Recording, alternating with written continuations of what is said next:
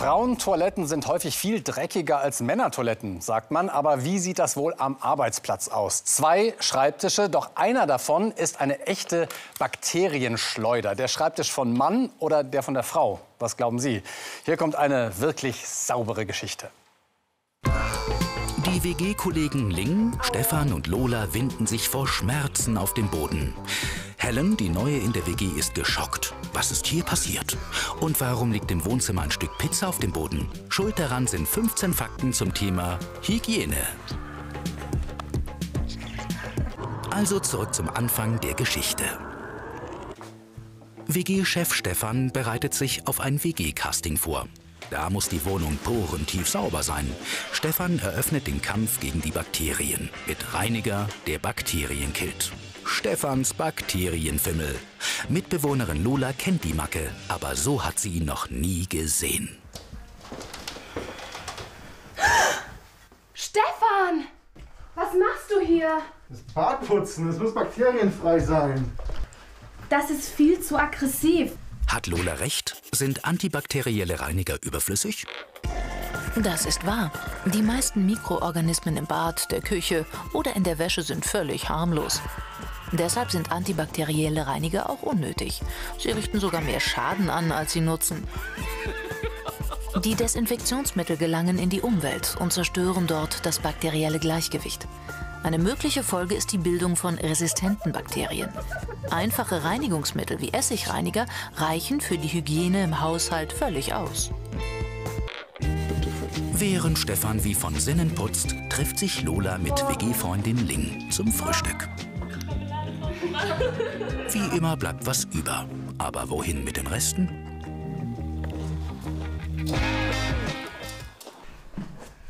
Äh, Lynn, was hast du vor? Die Essensreste in den Müll schmeißen. Das vergammelt im Mülleimer. Das muss in die Toilette. Ist doch logisch, oder? Essensreste gehören in die Toilette und nicht in den Müll. Auf keinen Fall. Dafür sprechen gleich mehrere Gründe. Erstens, der Müll kann den Abfluss verstopfen. Zweitens, die Kläranlagen müssen wegen der organischen Abfälle deutlich mehr arbeiten. Drittens, die Essensreste locken Ratten an. Und die krabbeln auf der Suche nach der Nahrungsquelle die Kanalrohre hoch. Diesen ungebetenen Besuch können selbst Bewohner der oberen Stockwerke bekommen. Das Bad ist sauber. Jetzt ist die Küche dran. Doch was ist das? Essensreste in der Pfanne. Eine Einladung für Bakterien. Das kann nur Lynn! gewesen sein. Manchmal nervt Stefans Hygienetick einfach nur. Was? Was ist das? Mein Mittagessen. Ich wärm's auf oder ich tue es in Kühlfach. Mach, was du willst, aber tu das weg. Also ab damit ins Kühlfach. Weiß man ja, im Tiefkühlfach sterben Bakterien ab. Falsch. Die Bakterien ruhen nur. Ab minus 18 Grad stellen Bakterien die eigenen Lebensprozesse auf Null und vermehren sich nicht weiter. Aber sie sind nicht tot. Taut das Lebensmittel auf, fangen die Bakterien wieder an zu arbeiten. Schon bei Zimmertemperatur legen sie richtig los. Die Bakterienzahl verdoppelt sich dann alle 20 Minuten. Die Wohnung ist tipptopp sauber. Jetzt kann das WG-Casting starten. Für das Freizimmer bewerben sich Hipster Raphael und Sportstudentin Helen. Begrüßung natürlich mit Handschlag, nur Stefan macht da nicht mit. Hi, ich hab's nicht so mit Händeschütteln. Das ist gar nicht böse gemeint, denn beim Händeschütteln übertragen wir die meisten Bakterien. Richtig. Studien zeigen, im Bauchnabel verstecken sich rund 2400 Bakterienarten, in der Ellenbeuge 3600 und auf den Händen tummeln sich mehr als 4700 unterschiedliche Keime. Wissenschaftler fanden dort Darmbakterien, Salmonellen, Noro- oder Grippeviren. Die Hand ist also eine echte Keimschleuder. Die Weltgesundheitsorganisation WHO hat herausgefunden, dass 80 Prozent aller Infektionen in Krankenhäusern durch Händeschütteln entstehen. Das WG-Casting hat gerade angefangen, doch der Favorit ist für Lola und Lynn eindeutig Raphael. Die Klamotten, die Tattoos, der Bart, cooler Typ. Den Bart findet Sauberkeitsfanatiker Stefan einfach nur ekelhaft. Bleibt nur eins. Wenn du einziehen willst, der Bart muss ab.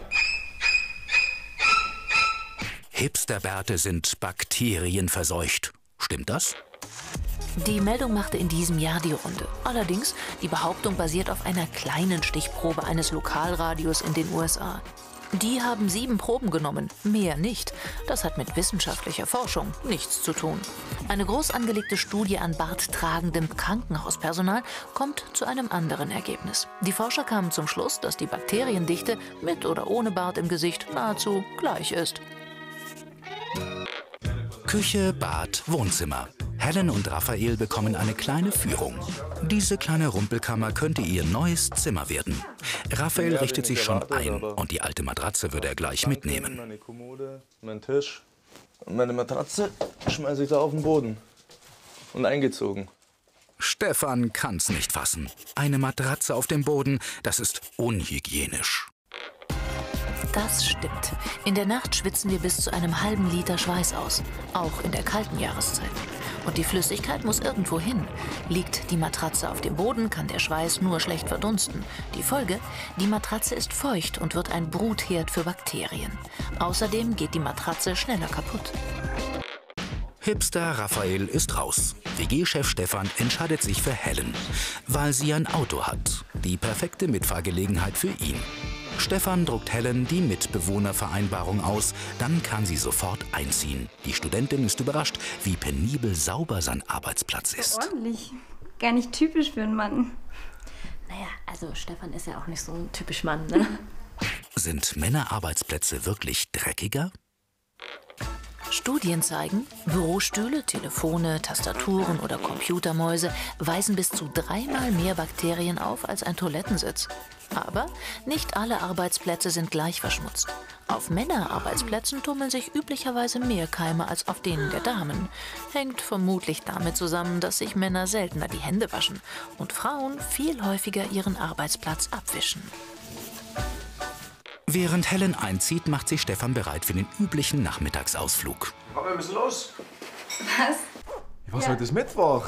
Ja und? Ja, erst Comic Shop, dann zum Asiaten und du fährst. Es steht so in der Mitbewohnervereinbarung, kannst gerne noch mal lesen. Auf geht's. Helen kann es nicht fassen, aber sie hat unterschrieben, sie muss Stefan fahren, wohin er will. Bevor es zur Tür rausgeht, setzt sich der Bakterienphobiker noch den Mundschutz auf. Übertrieben oder hilft Mundschutz tatsächlich? Ein Mundschutz macht nur dann Sinn, wenn der Infizierte ihn trägt. Dann hilft der Mundschutz, andere Menschen nicht anzustecken. Einfach einen Mundschutz tragen, wie wir das aus Asien kennen, hilft gar nichts. Denn kommen wir mit Keimen in Kontakt, landen die nicht nur in der Mund- und Nasenregion, sondern auch sonst überall. Spätestens wenn wir die Maske abnehmen, gelangen die Krankheitserreger unweigerlich in Nase oder Mund.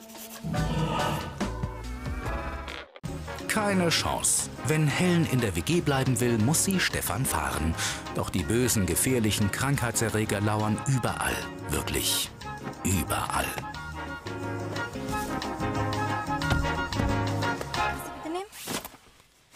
Bist du verrückt? Da sind überall Bakterien. Leg die nicht auf mich drauf. Tu sie hinter irgendwo, aber nicht auf mich. Bist wie so ein Kind. Das hätte Helen wissen müssen. Handtaschen sind eine Brutstätte für Bakterien. Britische Wissenschaftler haben herausgefunden, dass jede fünfte Handtasche so stark mit Bakterien verseucht ist, dass sie eine potenzielle Gesundheitsgefahr darstellt. Denn Handtaschen kommen mit allen möglichen Oberflächen in Kontakt. Außerdem sind sie voll mit benutzten Taschentüchern, alten Kaugummis, getragenen Klamotten und verschiedenen Handcremes. Das alles sorgt für eine bunte Bakterienvielfalt. Deshalb, wenn möglich, regelmäßig ab damit in die Waschmaschine. Und das Bakterienproblem ist gelöst. Erstes Ausflugsziel der Comic Shop. Die Fahrt für Helen ist nicht völlig umsonst. Ein Centstück auf dem Gehsteig hebt die Stimmung der Studentin. Hey, ein Glücksend. Bist du verrückt? Weg damit! Was ist liegen? Mit dir, echt. Genau, denn Münzen und Geldscheine sind Bakterienschleudern, oder nicht? Das ist falsch. Tests beweisen, das in den Münzen enthaltene Kupfer tötet Bakterien sogar ab. Und auf Geldscheinen finden sich nicht mehr Bakterien als auf Haltegriffen oder Türklinken. Damit kommt unser Immunsystem unter normalen Umständen problemlos klar. Dennoch gilt, Geld nicht in den Mund stecken. Das ist nicht gerade gesund. Der Comic Shop. Hier denkt Stefan mal nicht an Bakterien und kann völlig entspannen. Comics. Etwas Langweiligeres könnte sich Helen gar nicht vorstellen. Doch was ist das? Stefan spürt ein Grummeln im Magen. Ist er krank? Schnell zur Toilette. Doch wie sieht es hier aus? Furchtbar. Das ist ja entsetzlich. Hey. Hier gebe ich nie wieder einkaufen. Nie wieder. Übertreibt Stefan? Oder sind schmutzige Klos wirklich schlecht fürs Geschäft? Das stimmt, wie die Untersuchung eines Wirtschaftsunternehmens zeigt. Jeder Zweite, der in einem Geschäft schlechte Erfahrungen mit den Toiletten macht, kauft dort nicht mehr ein. Die Kunden setzen schmutzige Klos mit mangelndem Qualitätsbewusstsein gleich. Ist alles sauber, freuen sich die Kunden. Auch die Mitarbeiter sind motivierter und fühlen sich stärker mit dem Unternehmen verbunden. Stefan fühlt sich schmutzig. Das Waschbecken sieht halbwegs sauber aus. Also Hände waschen. Doch der nächste Schock. Das Papier zum Abtrocknen ist alle. Bleibt nur der Heißlufthandtrockner. Na, noch mehr Bakterien. Nein. Nein. Ah. Nicht mit Stefan. Denn für Stefan sind moderne Heißlufthandtrockner reinste Bakterienschleudern. Stimmt, eigentlich sind die modernen Geräte sehr effektiv. Das Problem, die meisten Menschen waschen ihre Hände nicht gründlich. Die nicht abgewaschenen Bakterien wirbelt das Gebläse dann durch die Luft. Der TÜV Rheinland hat herausgefunden, durch die Handtrockner verdoppelt sich sogar der Bakteriengehalt in der Luft. Je stärker der Trockner, desto größer die Belastung. Jetzt komm, wir müssen gehen. Zum Asiate? Nix, Asiate, ab nach Hause. Wir müssen jetzt, na komm. Denn nur in seinem Bad, wo alles sauber ist, kann Stefan den Dreck loswerden. In der Wohnung genießen Ling und Lola ihre freie Zeit. Ohne die Mädels zu beachten, läuft der Hygienefreak zielgerichtet ins Bad. Heißes Wasser, das braucht er jetzt. Das gibt den Bakterien den Rest. Bakterien werde ich mit heißem Wasser los. Stimmt das? Falsch. Niemand wäscht sich so heiß die Hände, dass Bakterien durch die Hitze draufgehen würden. Es ist daher egal, ob wir unsere Hände mit warmem oder kaltem Wasser waschen. Seife löst die Bakterien von der Hand. Daher gründlich mit Seife waschen. 30 Sekunden Hände waschen mit Seife entfernt 99,9 Prozent der Bakterien und Keime. Am Abend trifft sich die WG in der Küche. Nur Stefan putzt ein wenig. Bis Oh, voll gut. Oh, eine Sternschnuppe. Oh, wow. Die Leoniden. Die Leoniden sind wieder da. und wegen der Sternschnuppen rastet Stefan völlig aus. Die Leoniden sind wieder da. Mach die Fenster zu. Ja, was? Ihr wusstet auch nicht, dass der Staub aus dem Weltall durch die Fenster zu uns reinkommt. Unser Staub soll aus dem Weltall kommen? Stimmt, Staub ist die Bezeichnung für sehr kleine im Raum umherfliegende oder rumliegende Partikel. Und ein Teil davon stammt aus dem Weltraum. Der kosmische Staub entsteht, wenn Asteroiden kollidieren oder wenn Kometen der Sonne zu nahe kommen und verdampfen. Treten diese Partikel in die Erdatmosphäre ein, verglühen sie. Übrig bleiben kleinste Teilchen, ähnlich wie Ruß. Feiner Weltraumstaub, der auf die Erde rieselt. Heute Abend gibt es Pizza. Neuzugang Helen gefällt das gemeinsame Essen. Ist doch eine coole WG. Trotzdem, Sauberkeit muss sein. Deswegen kommen die leeren Schachteln sofort in den Müll. Doch leider passiert Helen dieses kleine Missgeschick.